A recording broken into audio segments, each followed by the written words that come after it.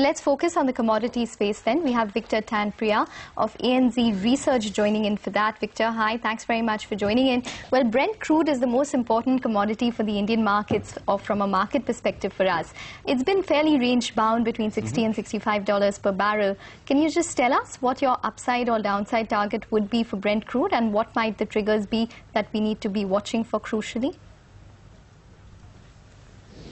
Uh, sure, yeah, of course. Look, um, I mean, the, the crude oil market, I think, is at quite an interesting juncture at the moment. I think the prices around where we are now, around your 65 to $70 a barrel, is the market's kind of found a bit of an equilibrium there. Um, I think if we, we we're, we're, we're, expecting the market will trade somewhere between $55 and, and $75 a barrel probably for the next 12 months.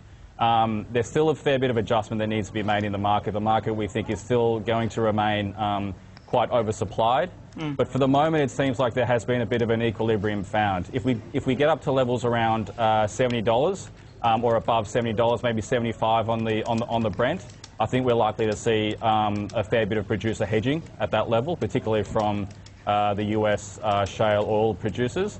But at the same time, if we have uh, prices fall down to your 55 or somewhere south of $60 a barrel, that's historically where we've seen um, uh, end users, particularly airlines, come in um, and, and, uh, and buy uh, at, at, those levels. So I think that those two um, mm -hmm. opposing forces will keep the market somewhat range bound between 55 to 75. All right, Victor. The other most uh, important uh, uh, important metal that, in fact, we do track is gold. So, give us a view on gold. Do you believe that 1250 or 1250, 1300 on the cards, or do you think we're going to drift lower?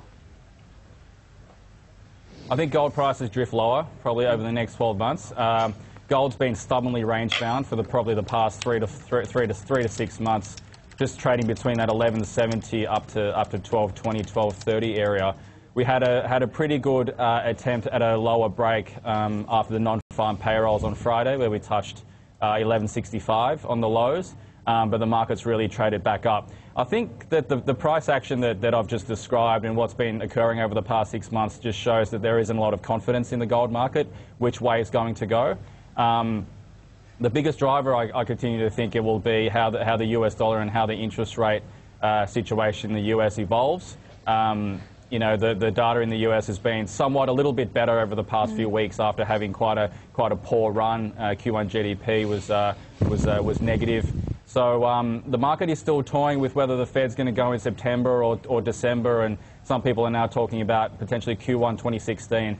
Um, but that's going to be a, an environment that's uh, that where gold doesn't trade with a lot of conviction we still think that, um, that, that, over time the US will continue to recover and be the, uh, the engine of growth uh, in the world. That will mean a higher US dollar.